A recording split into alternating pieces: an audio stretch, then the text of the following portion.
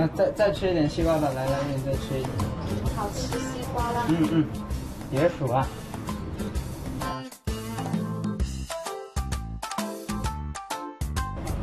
嗯，这西瓜好吃。是很甜啊。啊，啊不行，饱了，真饱了。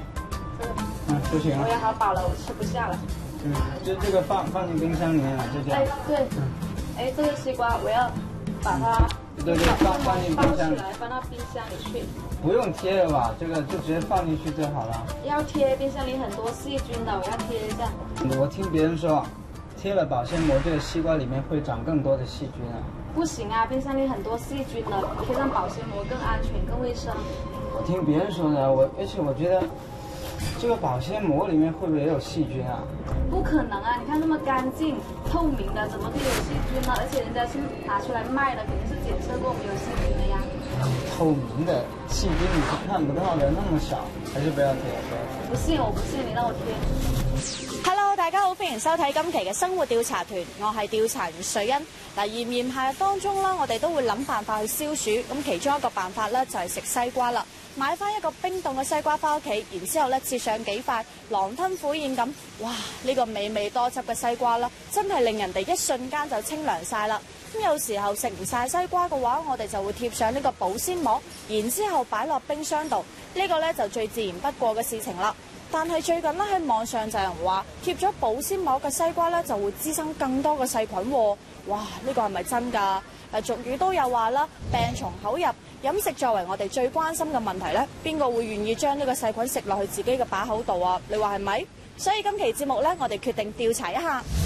西瓜美味解渴，自然大受歡迎。大家每次買西瓜，中意多買幾個，免咗下次來回搬運嘅麻煩。但係每個人嘅胃口都各唔一樣，買屋企食唔完嘅西瓜，好多街坊都會鋪一層保鮮膜喺上面，放入冰箱入边雪住佢，等有需要嘅時候再攞翻出嚟食。一旦我哋唔食咗被細菌污染嘅食物咧，就會引起好大嘅麻煩。症狀輕嘅話，就會導致呢個肚屙；如果嚴重嘅話，就會引起食物中毒，甚至乎要去洗胃啊。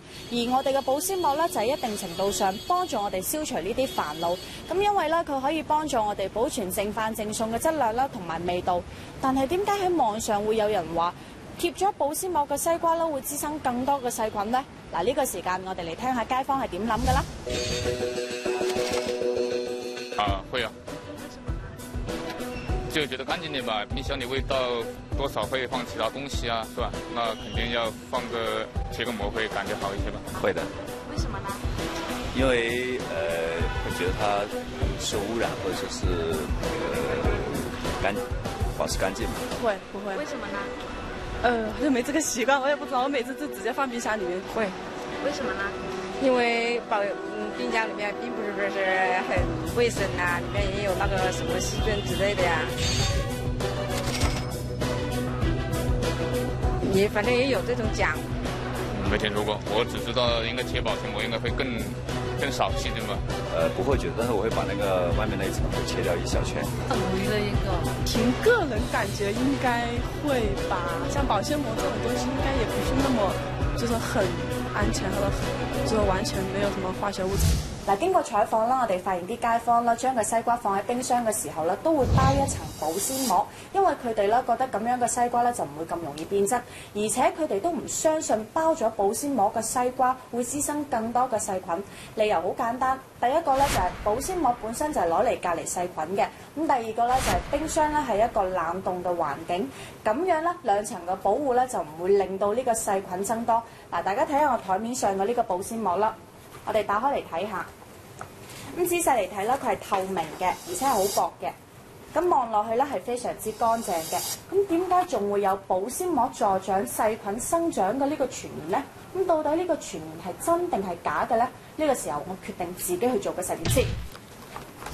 好啦，咁我而家咧就嚟到咗一位熱心觀眾嘅屋企，一齊嚟做個實驗。咁睇下呢個西瓜包咗保鮮膜之後咧，會唔會滋生更多嘅細菌？調查員將一個新鮮嘅西瓜切開，分別用唔同嘅方式儲存。一份用保鮮膜覆蓋，一份唔用保鮮膜，然後放入冰箱入邊儲存。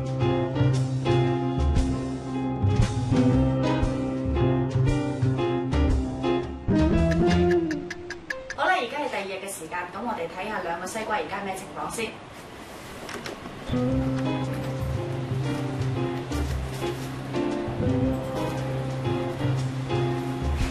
哇，摸落去真係十分之冰涼啊！嗯，聞起身都好想食啊！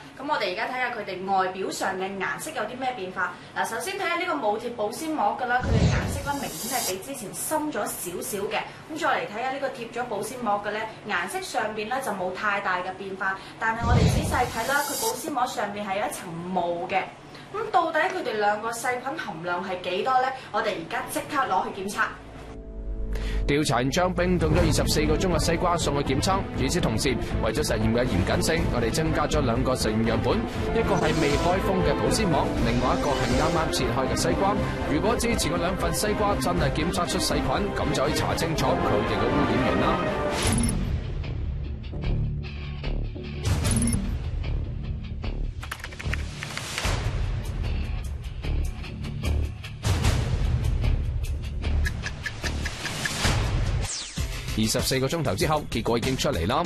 我哋見到保鮮膜同新鮮嘅西瓜並冇細菌嘅存在，亦就系排除咗西瓜同保鮮膜本身對西瓜嘅污染。接住落嚟睇下冇覆蓋而直接放入冰箱入邊儲存嘅西瓜，佢嘅表面含有三十個細菌菌落，唔知道覆蓋保鮮膜係咪有細菌呢？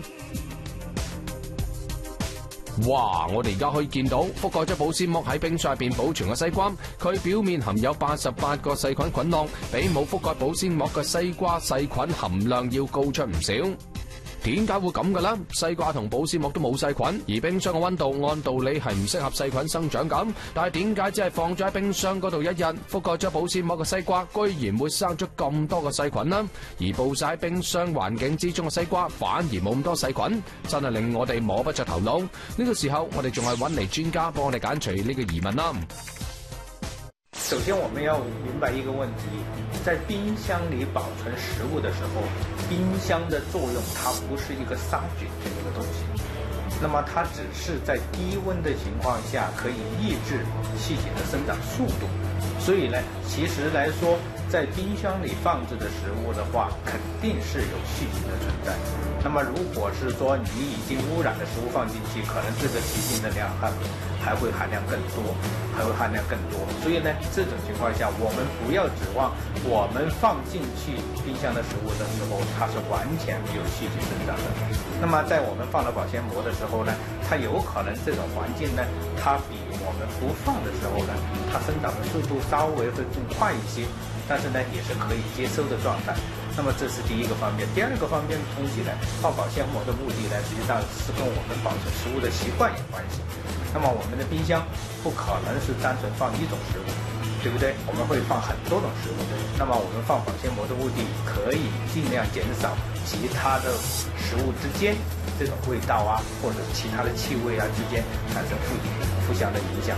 那么它是作用作用是在这个方面上，而不是说我加了一层保鲜膜，或者是直接放进冰箱以后我就没有细菌存在了，这是不可能的。原来系咁，保鲜膜的确可以帮助我哋嘅西瓜隔住外面嘅空气，防止外界细菌嘅入侵。但系冇谂到，保鲜膜喺保护西瓜嘅同时，亦都会俾西瓜带嚟危机。佢俾厌氧菌嘅繁殖創造咗非常之適宜嘅條件。既然係咁，我哋仲應唔應該用保鮮膜去保存西瓜呢？在保鮮膜的使用的時候，說如果是你在常温下保证的話，那麼在短時間，我們還是建議說能不用就不要用它。那麼，如果是你必須要放在冰箱裡面，而且保存的時間相對來說長一些。我們還是要建議使用。原來綜合嚟考慮嘅話，保鮮膜對西瓜嘅保存仲係有更多嘅好處嘅。至於點避免太多細菌嘅問題，專家就講啦，切開嘅西瓜最好就盡快食，切開之後放三日嘅西瓜就盡量唔好食啦，以免引發其他不良嘅反應。用保鮮膜儲存嘅西瓜再攞出嚟食嘅話，最好先切咗外面嘅一圈，咁樣可以避免食到黏附喺上面嘅細菌。冇錯啦，切咗嘅西瓜咧就要盡快食晒佢，費事走味同埋變質啦。嗱，之前咧我哋就講咗西瓜用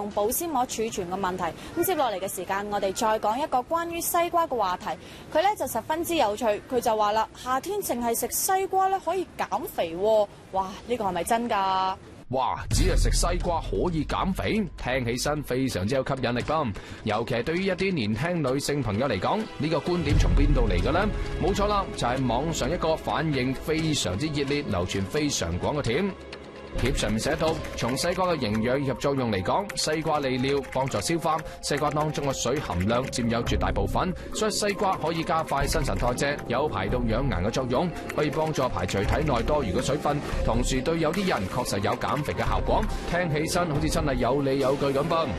哇！如果真係咁啊，實在太好啦！因為西瓜咧又美味又可口，淨係食西瓜可以減肥，又輕鬆又慳事，連我自己聽到都想試下。但係咧，以我嘅直覺，我覺得冇咁容易吧。我仲係有少少懷疑噶，到底靠唔靠譜咧？嗱，呢個時間老規矩，問下街坊嘅意見先。那你覺得吃西瓜會減肥嗎？可以減肥嗎？倒沒覺得，只是覺得會，反正當然是水果嘛，都會有點好處。我唔知道，這個我倒是不清楚誒。你聽講說西瓜可以減肥呢？不知道，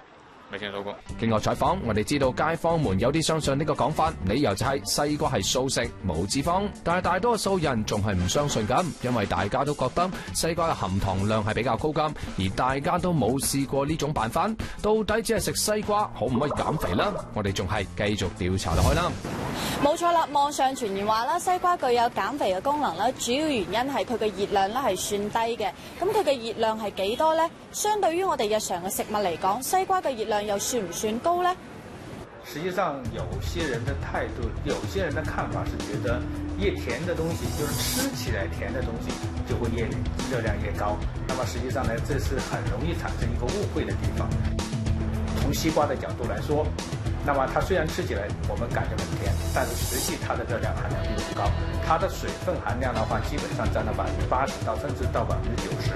它的糖的含量大概在百分之五到百分之十以內這個範圍。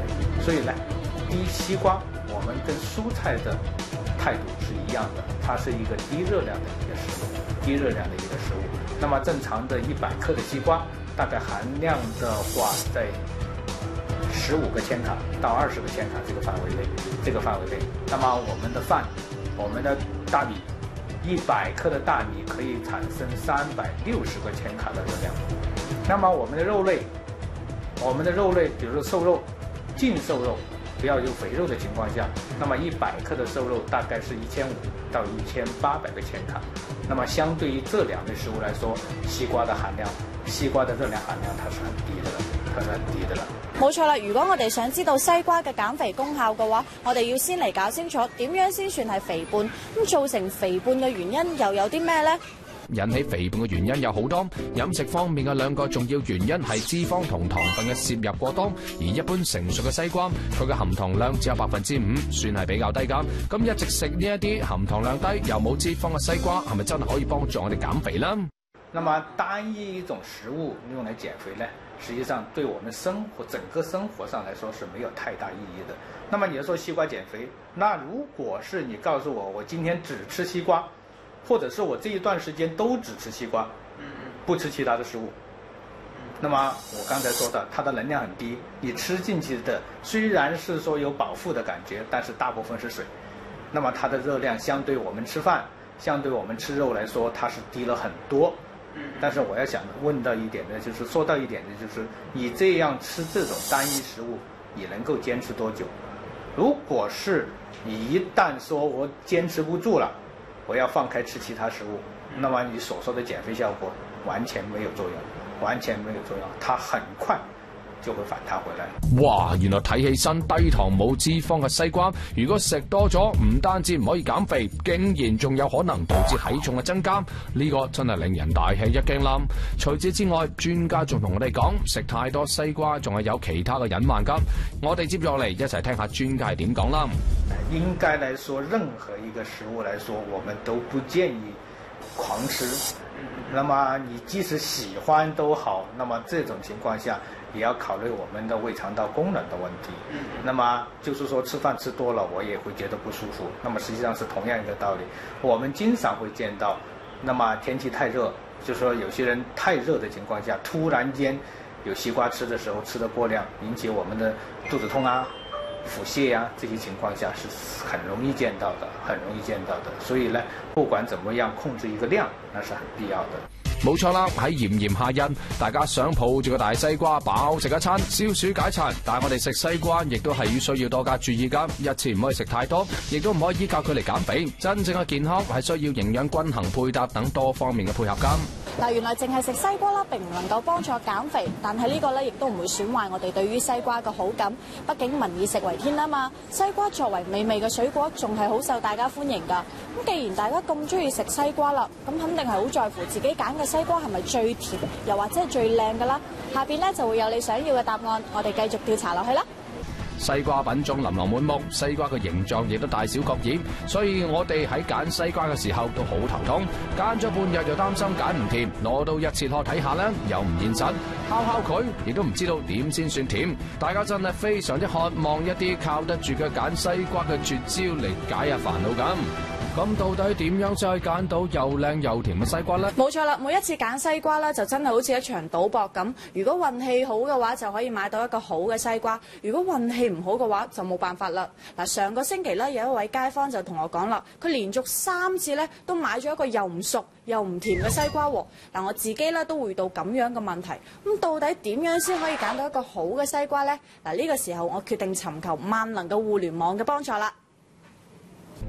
調查員上網輸入揀西瓜關鍵字，馬上彈出三百五十四萬多個結果，其中最醒目嘅標題就係揀瓜寶典啦。調查員點入去，發現呢個寶典教你四招揀好瓜係咁講㗎。第一招西瓜臍部嘅圈越細越好。第二招顏色最好揀青綠色，唔好霧霧白白金。第三招西瓜剃頭捲曲嘅比直嘅要甜。第四招紋路整齊嘅西瓜就係好瓜。好啦，既然貼上面話啦，只要學識咗呢四招嘅話，就可以揀到又熟又甜嘅西瓜。咁我而家咧就嚟到咗超市，按照寶典上面嘅呢啲方法嚟揀西瓜，睇下寶典係咪真係咁神奇先。調查按照寶典上面嘅要求，首先揀咗一圈瓷圈細嘅西瓜，同時揀咗一個瓷圈大嘅西瓜作為對比，然後揀一個表皮顏色青綠嘅西瓜。與此同時，亦都揀咗個顏色泛白嘅西瓜。之後再揀擇一個西瓜剃頭彎曲嘅西瓜，再揀一個剃頭不直嘅西瓜，最後揀一個紋路整齊嘅西瓜，再揀一個紋路唔齊嘅西瓜。好啦，擺喺我面前嘅咧已經有八隻西瓜啦。咁我按照寶典嘅方法咧，已經分成四組，咁分別咧就係顏色組、瓜蒂組、瓷圈組，仲有一個咧就紋路組啦。咁接落嚟有請四位志愿者一一上場。Hello，Hello，Hello，Hello，好歡迎你哋。好啦，咁接落嚟嘅時間咧，有請我哋嘅四位志愿者啦，親口去品尝下呢啲西瓜，睇下呢啲西瓜究竟甜唔甜。咁首先呢，我哋有請顏色組嘅志愿者。志願者真切切開面前嘅西瓜，可以見到入边嘅西瓜肉非常之紅，唔知道佢嘅味道係點咧？先等志願者試一試啦。點啊？味道點啊？冇味嘅，係淡嘅，冇味淡嘅，係啊，而且啲肉係腍㗎。腍嘅。哦，睇嚟呢個西瓜唔好新鮮喎。係啊咁 OK 啦，應該唔可以食噶啦。咁我哋切另外一個顏色比較深嘅西瓜，我諗呢個應該會甜啲吧。睇下先聽聲就知道。哇，聽聲就可以知道啦。係啦，應該係起晒嘅。哇！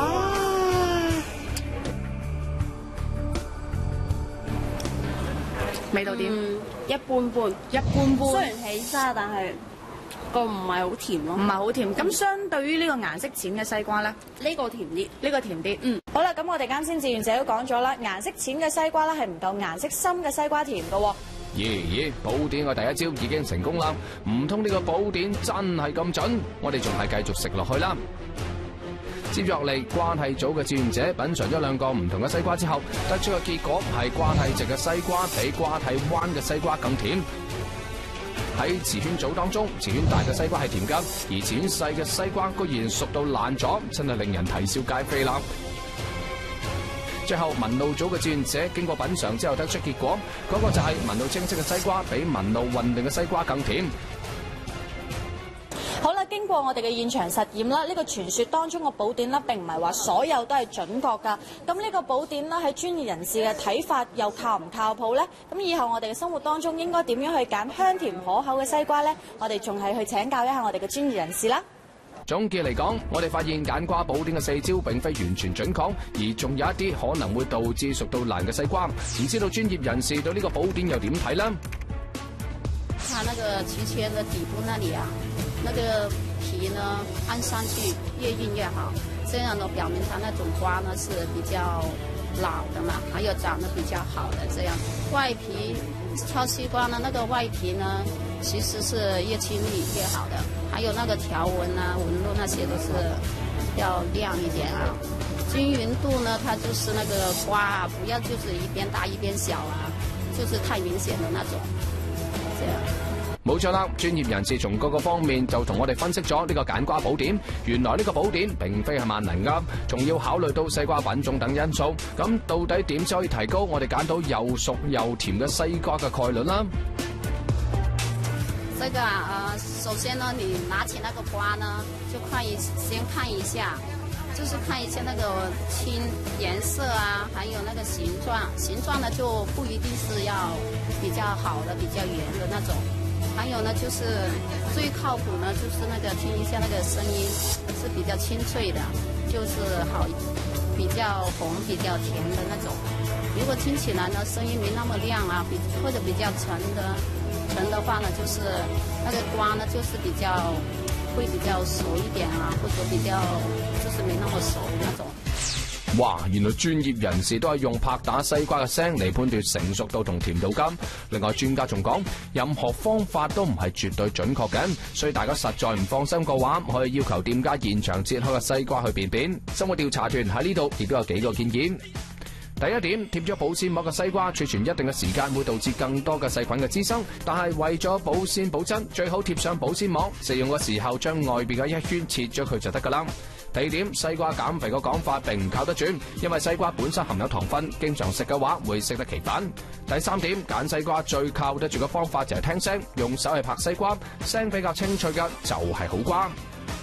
好啦，喺上面咧同大家讲咗好多关于西瓜嘅知识，咁希望可以帮助大家喺以后嘅生活当中啦，更好咁样拣西瓜、食西瓜同埋储存西瓜。好啦，今期嘅节目时间就到呢度啦。如果大家有更好嘅建议，又或者想知道更多嘅节目资讯嘅话，可以关注我哋嘅官方微信《生活调查团》。我哋下期同一时间再见，拜拜。